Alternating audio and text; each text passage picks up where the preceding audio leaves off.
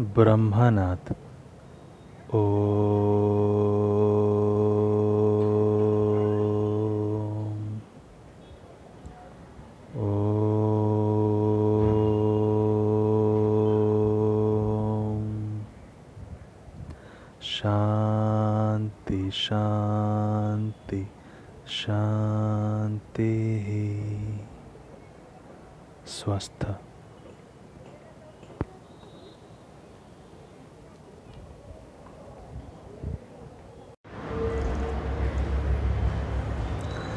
Hello students, in the previous class we discussed about the three domains of life.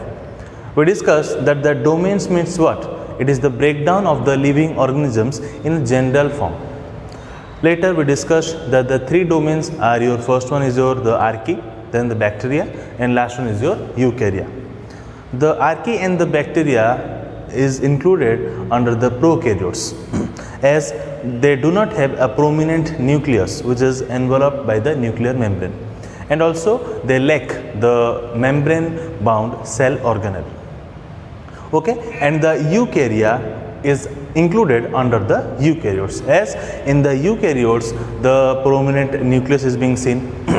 The cell membrane the membrane bound organelles are being seen. Okay so this is about the general idea the three domains like we discussed. Next we discussed that the three domains of life was proposed by the carl Woese okay next we discussed the some general points of the archaea and we, in which we discussed that the archaea it is uh, it includes it uh, comes under the prokaryotes in which prominent nucleus is absent. The it lacks the membrane bound cell organelles. Next we discussed that the archaea it is the known as also the extremophiles in extremophiles means what means means the we can say it can survive high temperature it can survive the high acidic condition high salt concentration okay next we discuss the membrane of the archaea composed of the branched hydrocarbon attached to the glycerol by the means of ether linkage. Next, the cell wall does not have the peptidoglycan. Okay. Next, in the bacteria, we discussed so many general points such as your in the case of the bacteria, it is also included under the prokaryote and also it does not have any uh, prominent nucleus or membrane bound organelles or cell organelles are not present. Next, the bacteria, in the case of the bacteria, the membrane composed of we can say the unbranched fatty acids attached to the glycerol by the means of the ester linkage okay and the cell wall contains the peptidoglycan okay today we discuss the our third domain of life that is your eukarya. Okay the third domain of life that is your eukarya. Okay so first point the eukarya we can simply say that the eukarya or the eukaryotes. Okay because it, these are the eukaryotes because prominent nucleus is present membrane bound cell organelles are present such as your uh, ri ribosome endoplasmic reticulum the okay so so many mitochondria so many cell organelles are present. So first point we can write these are the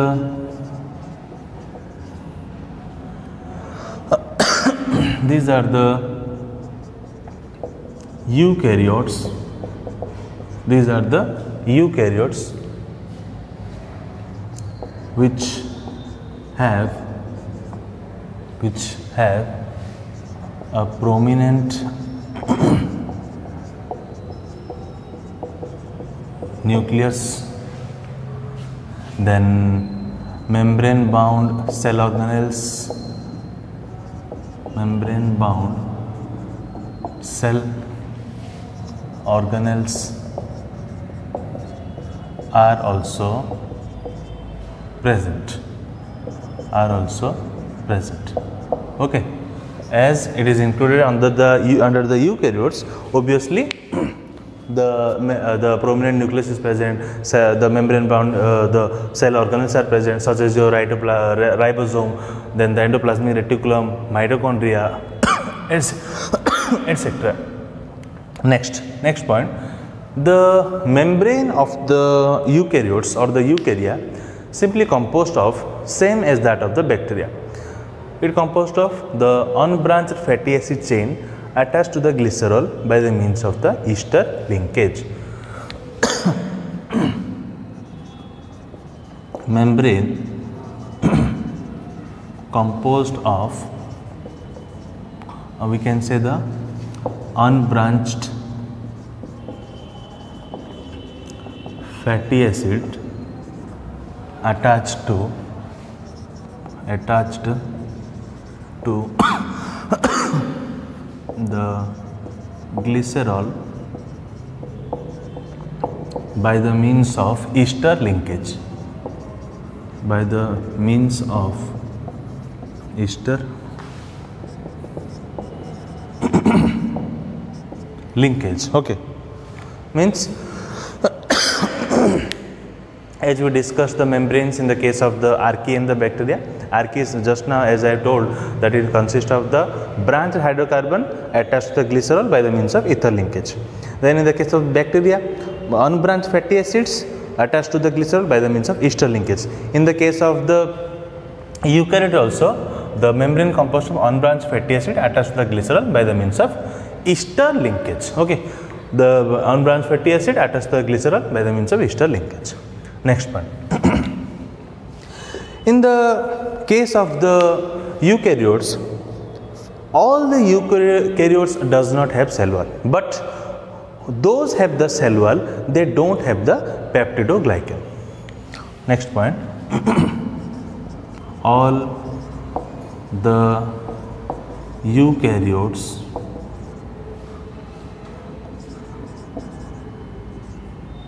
does not have the cell wall. But those have the cell wall the cell wall lacks the peptidoglycan. Okay. All the eukaryotes does not have cell wall but those have the cell wall they will lack the peptidoglycan. Okay.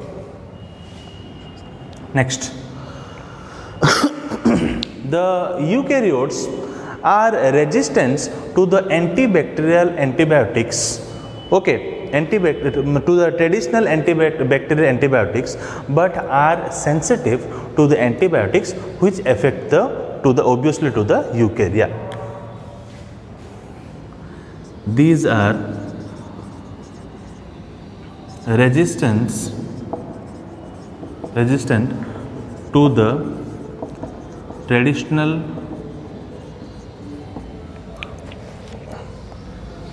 antibacterial antibiotics okay? But are sensitive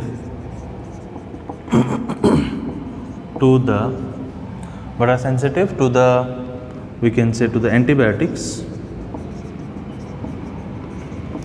which affect which affect the eukarya. Okay? Means simply these are resistance. Means they don't have any impact means uh, if the uh, we can say the traditional uh, the antibacterial antibi antibiotics such as your turmeric neem is being applied. But it is sensitive to the antibiotics. Obviously it is sensitive sensitive to the antibiotics which affect the eukarya means those antibiotics which affect the eukarya it is sensitive to those. But it is not sensitive or we can say it is resistant to the traditional antibacterial antibiotic. Okay last point obviously the common point the rRNA point. It have the unique rRNA which is different from the archaea and the bacteria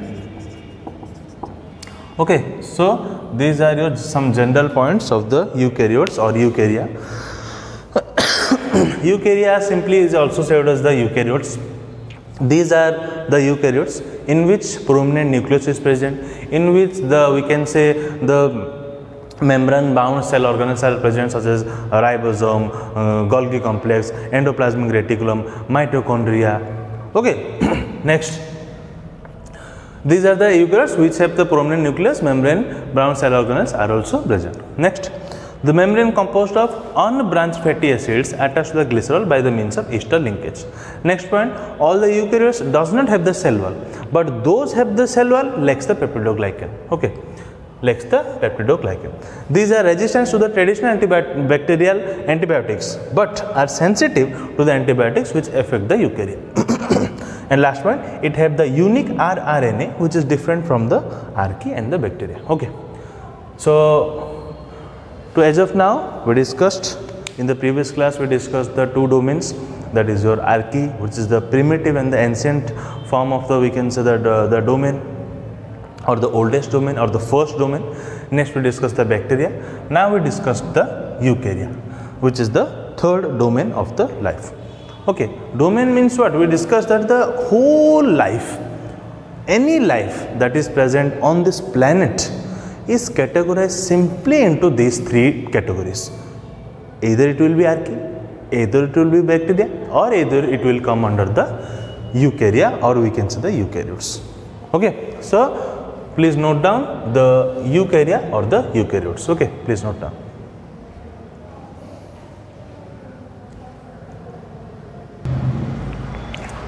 now we'll discuss the four kingdom that is included under the eukaryotes or the we can say the eukarya.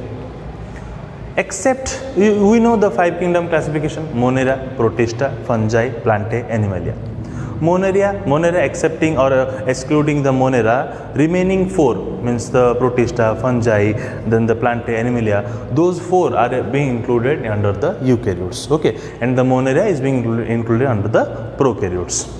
So first we'll discuss the Protista, then the fungi, then the Plantae, then the Animalia uh, in our case. So the Protista. These includes simple and unicellular organisms. These includes simple and unicellular organisms. Okay? Common examples are slime molds, algae. Okay then the protozoans. Common protozoan is your amoeba. So such like. Okay. Means the simple unicellular eukaryotic cells uh, eukaryotes or we can say it is included under the protista. Okay. The simple and unicellular uh, eukaryotes are included under the protista. Next we'll discuss the fungi these are also the unicellular organisms, but some are also multicellular organisms. These are unicellular, but some are multicellular.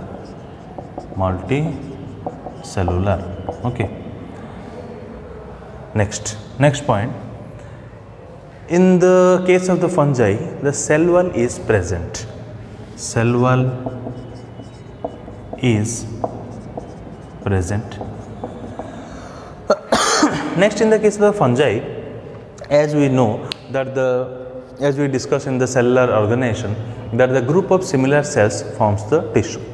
But in the case of the fungi, as it may be, it is generally unicellular, but it may be also multicellular. But in the case of the multicellular, the cells are not organized into tissue. Okay because for organization of the tissue there is a proper organization must be there. Okay some properties should match so that they could form a tissue. But in the case of the fungi the cells never make or we can say cells are not organized into tissue. So your next point. Cells are not organized into tissue. Okay? Next they don't carry out the photosynthesis process. They don't carry out photosynthesis. Okay? And they get the nutrition by the help of the absorption they get the nutrition by the absorption by the absorption okay? Means to absorb. By absorbing it gets the nutrition. Common examples are uh, your most common that is your mushroom okay? Next your sac fungi. Yeast etc okay? So in the fungi we discussed these are the unicellular but some are also multicellular. But in the case of the fungi the cells are never organized into tissue and also they don't carry out the photosynthesis process and they get the nutrition by the absorption. Examples are mushroom sac fungi yeast etc next the plantae kingdom. Means obviously you can relate that. These are included so the includes the plants. First point these are the multicellular organisms. Multicellular organisms. Okay? Then the presence of cell wall presence of cell wall okay? They carry out the photosynthesis in this the cells are organized into tissue. Cells are organized into tissue. Okay means in this the proper way the arrangement is done or we can say the organization is done of the cell to form the tissue next photosynthesis process is being carried out. Photosynthesis process. Okay in which the glucose means the food is formed. Photosynthesis process is carried out due to the presence of sunlight. Carried out. Photosynthesis process is carried out in this. Okay next uh, next point we can uh, also write they also get the nutrition by the absorption. They get the nutrition by the absorption. Okay. And so common examples are any plant you can take but here we'll uh, can write the mosses and the ferns mosses and ferns etc also you can write. Okay. Next. Last one is the animalia kingdom. Means what? Our case. Kingdom animalia or in which the animals are being or we can say uh, in our case. Next. These are simply multicellular organisms. Obviously you know multicellular organisms. Okay next we can write uh, in this the cells are organized into tissue. Cells are organized into tissue. Okay. And last point uh, they get the nutrition by the means of the uh, ingestion. Okay. They get their nutrition. They get their nutrition by ingestion. Ingestion means simply we can say engulfing. How we eat the food? We engulf the food. Okay that is the mode of the getting our nutrition. So plants get the nutrition by absorbing means it absorbs. Okay but the animalia kingdom it get the nutrition by simply engulfing the food. Okay that is known as your ingestion. Common examples you can take any animals here we can take the insects the worms the vertebrates. Vertebrates don't confuse about what are the vertebrates etc vertebrates means the presence of the vertebral column. Okay in our case also we will read in detail about all those things. So don't worry about that. Don't means um, don't confuse about the what is the vertebrates and all that. Simply we'll uh, discuss in our uh, future classes. As of now you remember only the examples vertebrates etc okay. So the eukarya or the eukaryotes first we discuss the general points in which if it comes as a short notes you can write only up to in the first in the previous slide we, what we have discussed that about the eukarya some general points that you will write in your 2.5 short notes uh, question. It is if it come in your exam but this is your extra points means it includes the various four kingdoms such as your we said as the protista fungi plantae and the animalia Protista, this includes, as we said, the simple and the unicellular organisms. Common examples are your slime molds, algae, protozoans, amoeba, etc. Fungi, these are your unicellular uh, organisms, but some are also multi multicellular. But in this case, the cells are not organized into tissue. Okay, cell wall is present. Okay, S- uh, cell are not into tissue. Cells are not in tissue. They don't carry out the photosynthesis. Cell wall is present and they get the nutrition by the absorption. Example mushroom sac fungi yeast. Okay you can also write the mold. Okay. Slime mold mold different. Then the plant plantae kingdom. These are the multicellular organisms. Presence of we can say the cell wall here you write another point. In the animalia cell wall is absent. Cell wall is absent. Okay.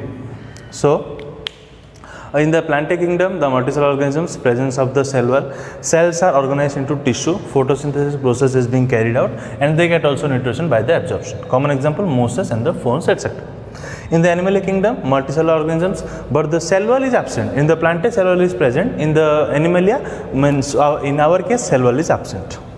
Next the cells are organized into tissue. They get their nutrition by the ingestion means engulfing the food. And the common examples are insect worms vertebrates etc vertebrates means presence of vertebral column as in our case. Okay. So as of now we discussed the four kingdom that includes under the eukaryote okay. So as of now we completely discussed the three domains of the life archaea bacteria eukarya uh, we discussed some general points which is sufficient for a 2.5 marks. And then we discuss the complete kingdom that is involved under the eukaryotes. Okay please note down.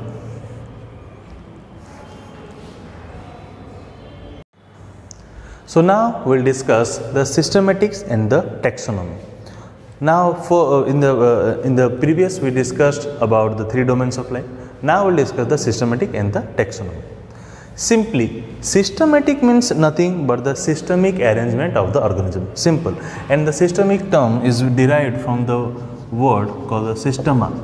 Systema means systemic arrangement of living organisms okay simple system means systemic arrangement of the living organisms. So it can be defined it can be defined as a kind of as a kind and the diversification diversification among the living organisms based on their comparative and evolutionary relationship based on their comparative and evolutionary evolutionary relationships okay. Means what? Means the organisms means all the living organisms are arranged in a systemic way. Means a particular organism is kept under a particular category. Another organism is kept under a particular category. Okay. Suppose suppose for example i am telling. Suppose this is one organism it have various characteristics. Okay. Suppose this one is also an organism. This have various category. But this one is another organisms or another category in which these two organisms comes. So if we will study this characteristics of this uh, category then obviously we will have a common idea about these categories or, or the, these organisms okay and which by which also we can discuss. Obviously that these two may have arrived from this or they have the evolutionary relationship. Or those uh, these organisms may have come from these ancestors. Okay so simply we can tell that the systematics helps or give us idea about the systemic arrangement of the living organisms. Okay the term systematics was first used by Carlos Linnaeus in his book in his book Systema Naturae his book Systema Naturae and the Carlos Linnaeus is also known as your father of taxonomy. Carlos Linnaeus is known as father of taxonomy. Okay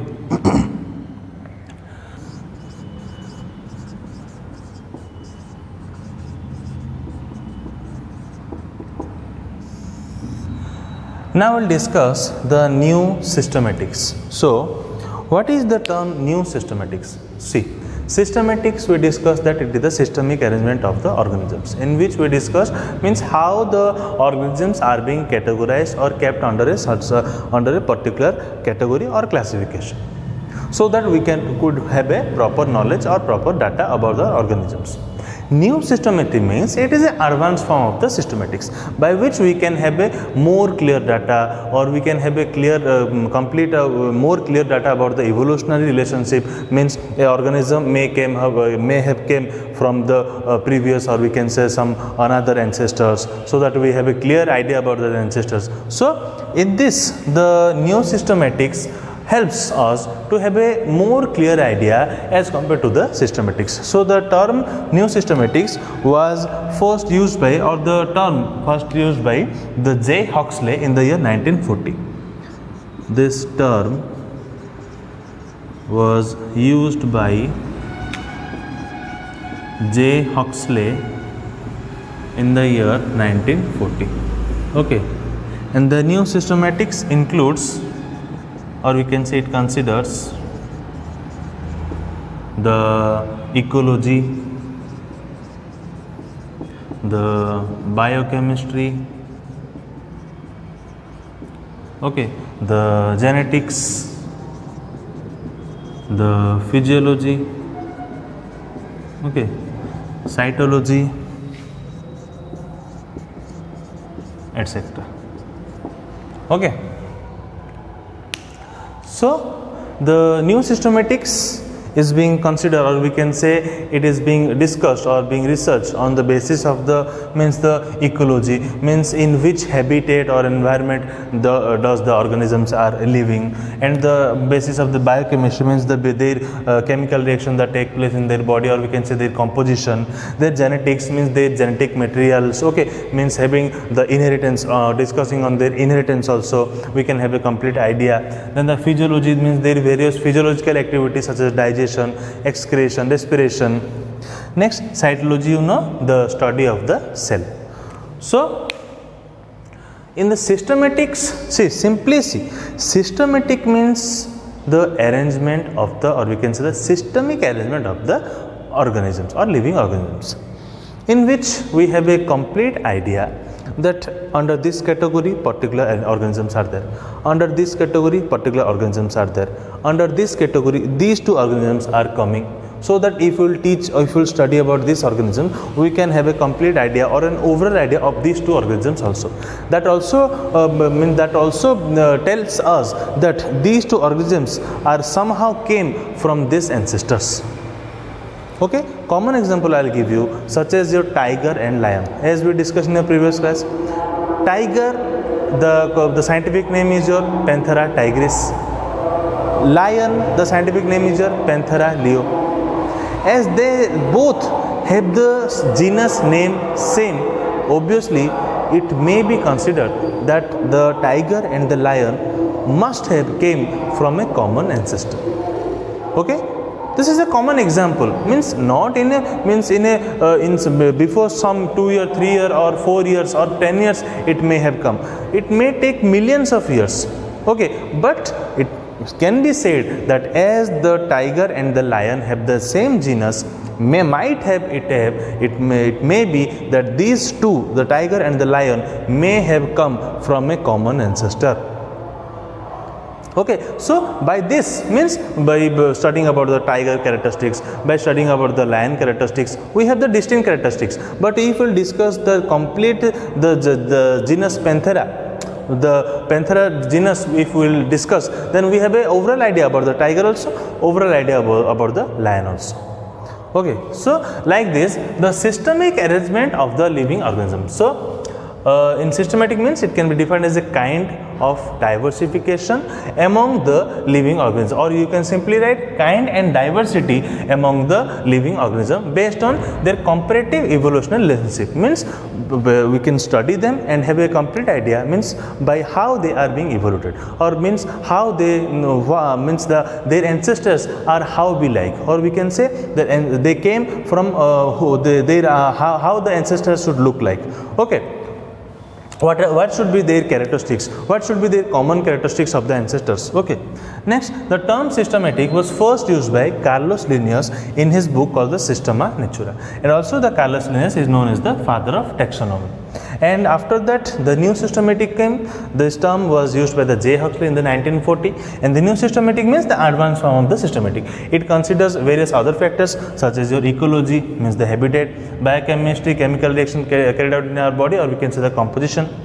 Genetics means the uh, we can say the inheritance or we can say the genetic materials. Physiology means various physiological activities.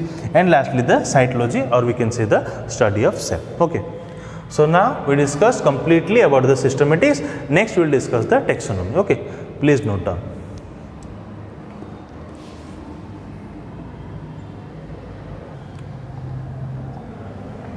Next we will discuss the taxonomy.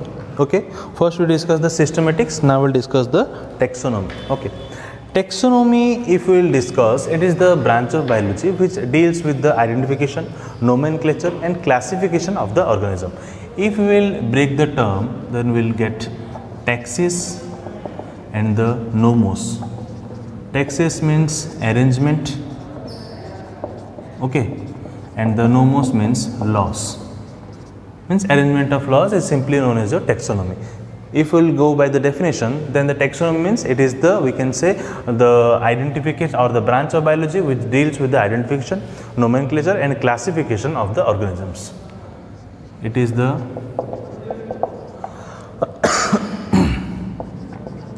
branch of biology that deals with that deals with identification identification nomenclature and classification of the organisms okay The term taxonomy was first coined by A.P. de Candolle in the year 1813. The term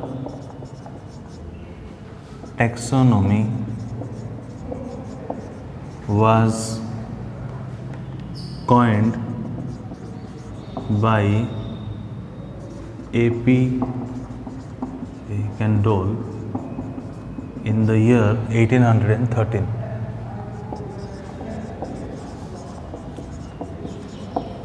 Okay. the scientific term used for the category is known as your taxo or the taxon. The scientific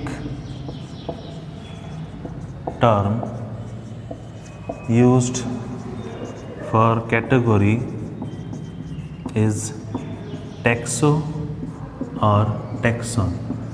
Okay, so as of now what we discussed that the taxonomy it is a branch of biology that deals with the identification nomenclature and classification of the organisms. Means suppose we are seeing an organism. First what we will do? First we will identify it then we will give the name to it by the, means of nomenclature and then we will classify it under a particular category. Okay. Next it was terms taxonomy was uh, coined by the A.P. de Candolle in the year 1813. Okay, and lastly, the scientific term which is used for the category is taxo. Means what? Suppose we are taking the common examples of human being, that is your Homo sapiens, which includes the uh, Animalia kingdom. Animalia. Okay, this one is your kingdom. This one is your genus. Last one is your species okay so these are one one categories or taxon. Means suppose if you will take the sapiens. Means this is the taxa at the species level. This is the taxa at the species level. Okay. Means this is the taxa at the species level. Okay. So this is all about your taxonomy. Next we will discuss the neo taxonomy new taxonomy new taxonomy. New taxonomy.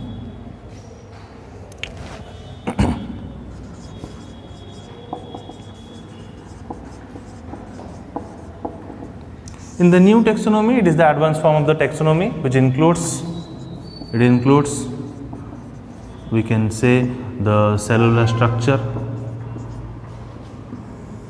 the cellular structure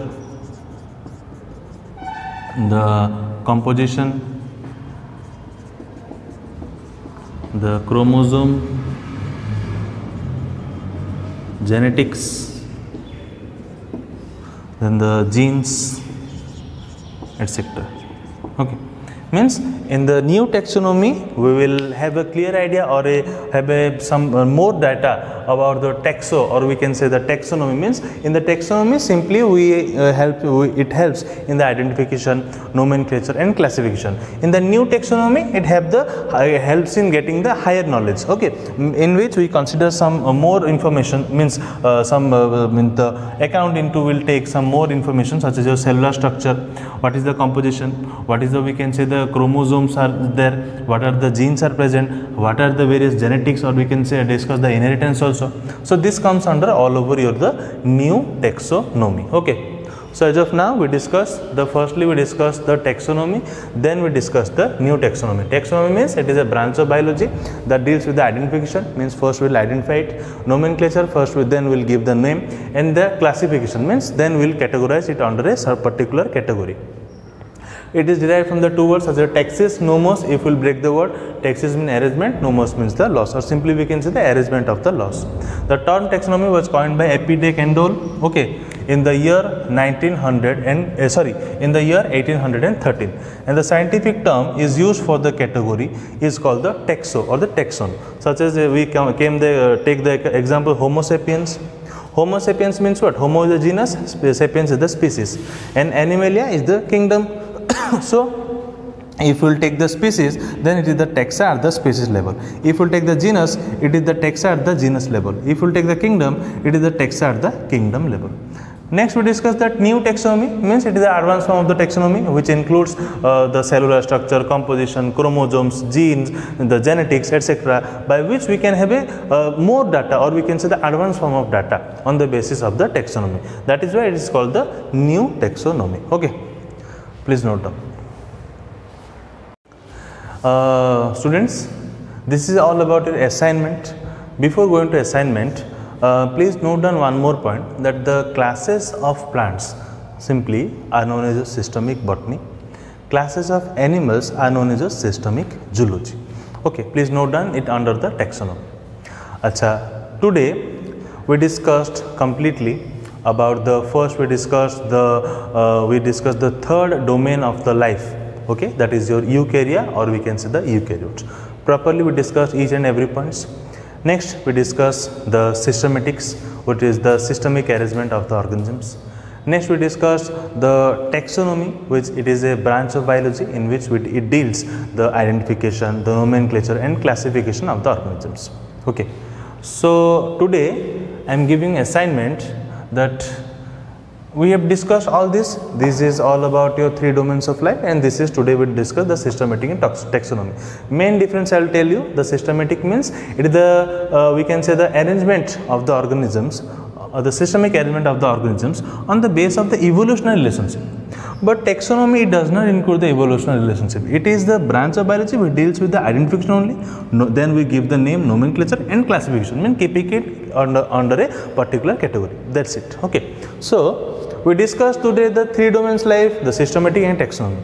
Your assignment is try to write the difference between the archaea and the eukarya important 4 to 5 points try to write important points difference between the bacteria and the eukarya Lastly, you try to write the differentiate between the systematics and the taxonomy. Okay.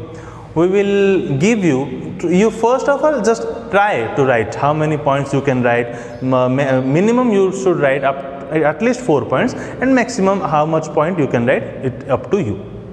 Uh, don't worry about whatever it may be wrong or right you first attend to write okay? We will give the proper difference between uh, these all three archaea eukarya bacteria eukarya systematic taxonomy in our coming classes okay? So that's all for today. We will meet in our next class thank you